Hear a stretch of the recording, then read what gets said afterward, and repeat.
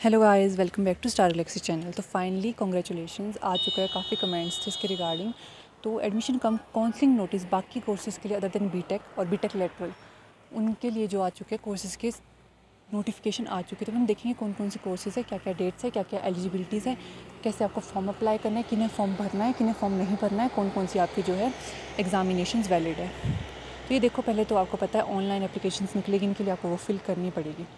तो M S physics M S science B tech lateral entry second year आपकी जो भी क्वालिफाइंग एग्जामिनेशन उसके बेसिस पे आपको 21 आठ 2022 से आपकी जो है फॉर्म फिल करने की डेट स्टार्ट है और सत्ताईस आठ 2022 को क्लोज हो जाएगी पाँच बजे तो उसके बीच आप फॉर्म भर लेना। एम वाले जिन्होंने भी national level test CAT NET C MAT या फिर H P C twenty twenty two या कोई भी क्वालिफाइंग एग्जामिनेशन पास किया है क्वालिफाई किया है, उन्हें तेईस आठ दो हज़ार बाईस, अट्ठाईस आठ दो हज़ार बाईस इनके बीच में अपना फॉर्म भर लेना है। आपने टाइमिंग फाइव बजे, पाँच बजे की। बाकी हम ना भी देखेंगे कि कट ऑफ्स क्या है H P C E T की इन कोर्सेज़ के लिए तो वो आपको नीचे मिलेगी एलिजिबिलिटी क्राइटेरिया के साथ। बाकी एम सी के लिए भी सेम जिसने H P C E T या फिर कोई क्वालिफाइंग एग्जामिनेशन क्वालिफाई किया है, फिर एम दो ही है C S C computer science और सी ई आपकी जो सिविल इंजीनियरिंग है।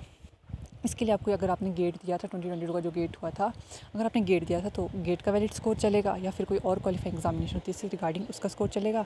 बाकी B H M C T bachelor in hotel management and catering technology B S C hotel management and catering technology B B A P B C A P G diploma नहीं होगी, आप लोगों की जो भी qualifying examination उस basis पे।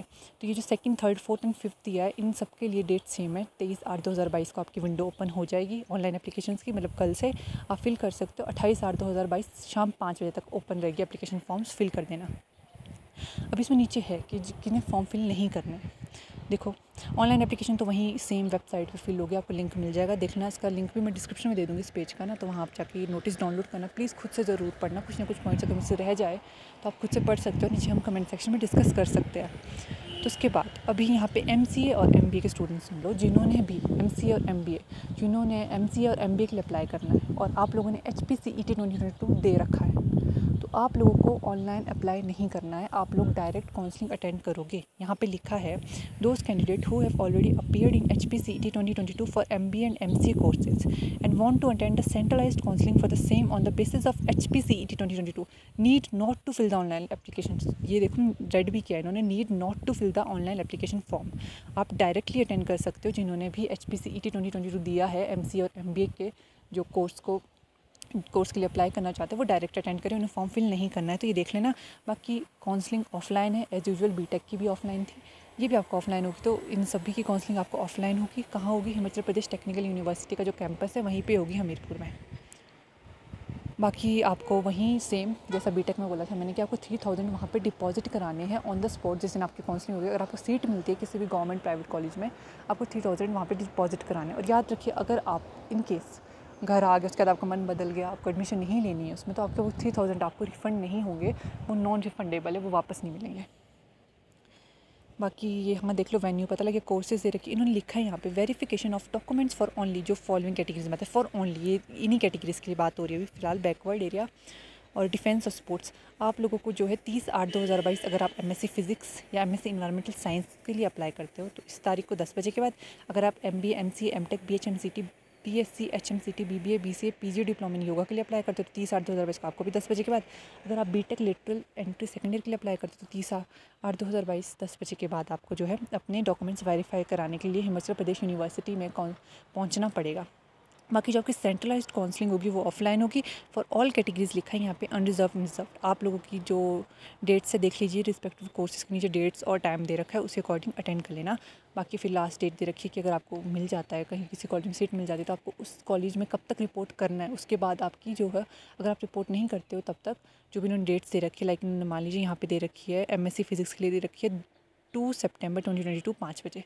अगर आपने इस इस दिन तक रिपोर्ट नहीं की तो आपकी जो है एडमिशन कैंसिल हो जाएगी। क्योंकि उसके बाद ये वैकेंट सीट जो है डिक्लेयर करेंगे रिस्पेक्टिव जो तारीखें दे रखी है रिस्पेक्टिव कोर्सेज़ के नीचे।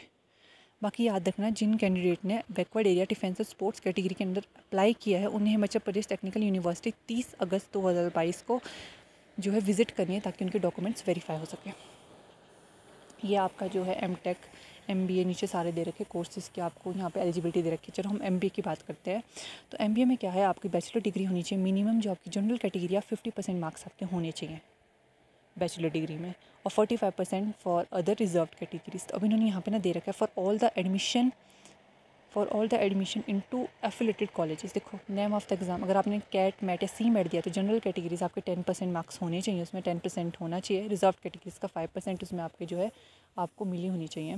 उसके बाद H P C T twenty twenty two दिया है, अगर उसके बेसिस पे जा रहा है जो, वो ट्वेंटी मार्क्स देगा और जो रिज़र्व कैटेगरीज में उनके fifty marks fifteen marks cut off ये कट ऑफ़ है। बाकी बैचलर डिग्री फिफ्टी परसेंट और फोर्टी फाइव परसेंट से होनी चाहिए तो कंपलसरी है।